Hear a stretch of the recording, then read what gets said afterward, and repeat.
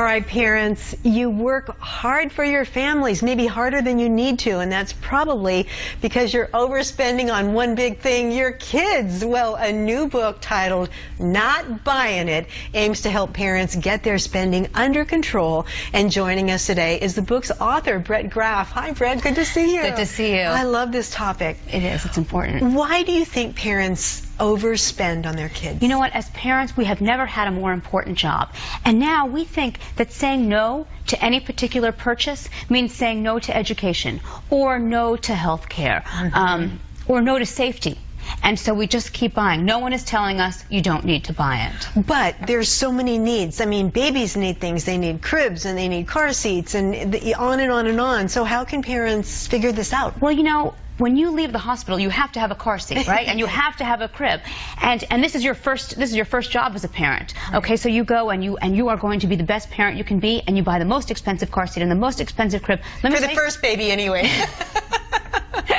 for the first baby. And, um, and the thing about it is, all car seats and all cribs must undergo the same federal inspection process. The most expensive ones are not safer.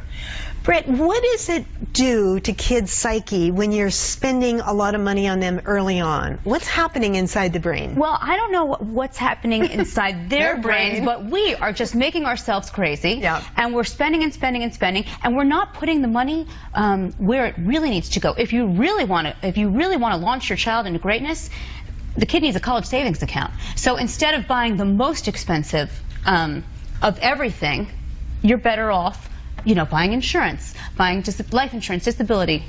Right, so so smart.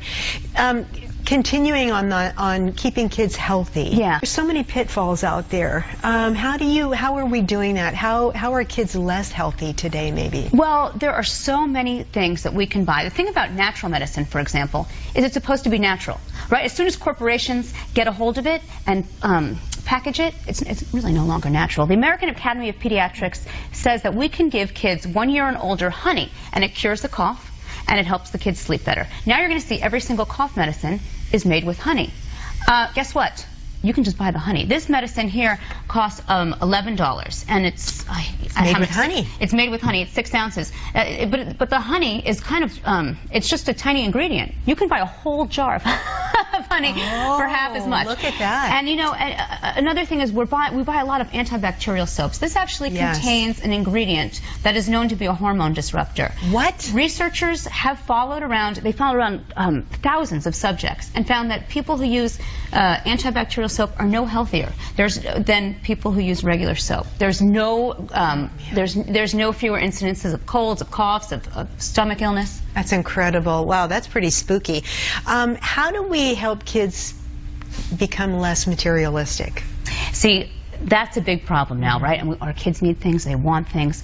One of the They things they have to have things. They, you know what? And they do have to have things. We have to buy. I mean, to be part of a civilized society, right? They need those they need Nikes. Well, they need they need you know certain clothes, and so I mean, you can't go to uh, you know an event under. But one of the things that we're doing is we are inadvertently raising materialistic kids, and one way we do that is we reward them for a job well done, and it seems like the right thing to do, doesn't it? But what happens is it takes the focus off of the accomplishment and onto the commercialized compensation.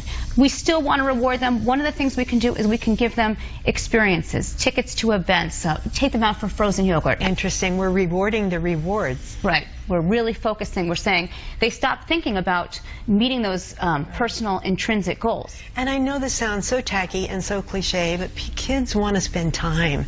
That's the best gift you can give. Those are the memories. It's not the bag of, you know, this, but it's the memories. You know, um, it's funny that you mentioned that because they also found that kids who felt loved and supported by their parents were less materialistic. There you go. Great book. Thank you so much. Thank Good you. meeting you. Great For more here. information, everyone, visit thehomeeconomist.com.